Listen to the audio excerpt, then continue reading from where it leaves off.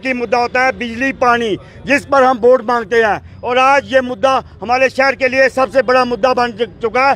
एक सत्तर सालों में हमने ये किया, वो किया। पंद्रह साल पहले भी ऐसी सिचुएशन नहीं थी, जो एक घंटा बिजली आती है, एक घंटा बिजली जाती है। इससे हमारा बिज़नेस सफ़र कर रहा है। मैं सरकार को यही जताना चाहता हूँ कि अगर नौ साल जो आपने बेमिसाल कर रहे हैं, ये सारे फेल हैं। ये सारे वादे फेल हैं। हमको बिजली चाहिए, पानी चाहिए। सरकार को मूल सुविधाएँ आप दे नहीं पा रहे तो आप किस किस हिसाब से जीत पाएँगे अगली बार? जैसे आप देख रहे हैं कि लोग सड़कों पर उतर चुके हैं। आने वाले समय में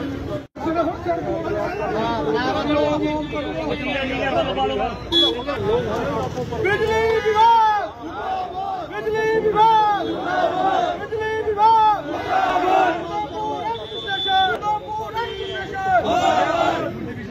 बिजली पानी दे न सकेगा सरकार की कमी है। पानी दे न सकेगा सरकार की कमी है।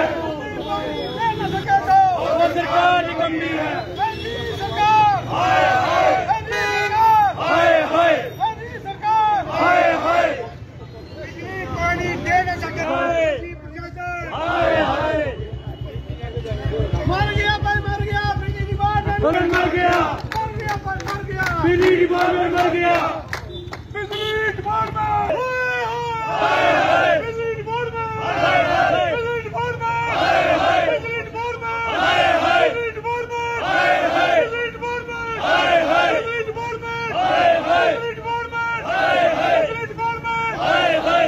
शहर में घोषित कटौती की जा रही है आप ही सड़कों पर है क्या कहेंगे जगह यूट्यूब किस तरह देखते हैं देखिए जिस प्रकार गर्मी बढ़ती जा रही है, उस प्रकार इनके कट बढ़ते जा रहे हैं। आप देख रहे हैं, आप कल से इन्होंने एक नया शेड्यूल है, दो घंटे बिजली देंगे, दो घंटे बिजली नहीं देंगे। ऐसा हमारे शहर में नहीं चलेगा। कई बार हमने प्रोटेस्ट किए रोड जाम किए, लेकिन ये कुछ देर होश में आते हैं, उसके बाद यही हाल कर देते हैं। मैं अपने जो हमारे काउंसलर भाई हैं, मैं उनसे रिक्वेस्ट करना चाहता हूँ, मैं एम जो पूर्व एम हैं, उनसे रिक्वेस्ट करना चाहता हूँ। एमपी साहब से रिक्वेस्ट करना चाहता हूँ। हमारी पब्लिक का एक ही मुद्दा होता है, बिजली, पानी, जिस पर हम वोट मांगते हैं। और आज ये मुद्दा हमारे शहर के लिए सबसे बड़ा मुद्दा बन चुका है।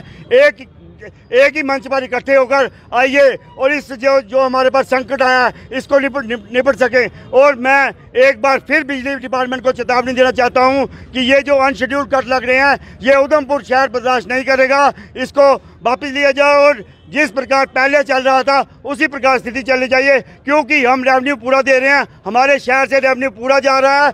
कोई किस्म, किस किस्म की, पिछले दिनों जिन्होंने पचास बिजली का कनेक्शन पेपर में आधा काटे हैं ठीक है, जो इलीगल काम कर रहे हैं, उसको करें। हमें कोई देना देना नहीं है, लेकिन जो लोग किराया दे रहे हैं, जो लोग आपके हर हर बात, जिस प्रकार आप किराया ले रहे हो, हम किराया दे रहे हैं, सब कुछ दे रहे हैं। फिर ये अनशेड्यूल कट ये हम बर्दाश्त नहीं करें। हमारा व्यापार नब्बे परसेंट बिजली पर डिपेंड है। और हर प्रकार का व्यापार जो है, आजकल जो हमारे किराने के जो कंडे होते हैं वो भी चार्ज होते हैं उसके बाद चलते हैं। हमारे मोबाइल डेड हो जाते हैं हमारे इन्वर्टर डेड हो जाते हैं। इसलिए ये जो कट है ये हमारा शहर बर्दाश्त नहीं करेगा व्यापार मंडल बर्दाश्त नहीं करेगा। इसलिए हम चाहते हैं कि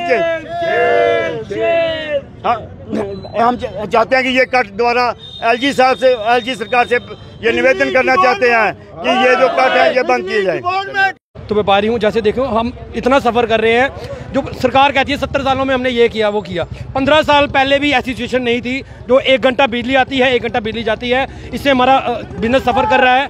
मैं सरकार को यही जताना चाहता हूँ कि अगर नौ साल जो आपने बेमिसाल कर रहे हैं, ये सारे फेल हैं। ये सारे वादे फेल हैं। हमको बिजली चाहिए, पानी चाहिए। सरकार को मूल सुविधाएँ आप दे नहीं पा रहे तो आप किस किस हिसाब से जीत पाएँगे अगली बार? मैं बीजेपी सरकार से यही बोलना चाहता हूँ कि अगर आपको वोट लेने हैं तो लोगों की जनता की बातें सुननी पड़ेगी। और व्यापारियों को साथ लेकर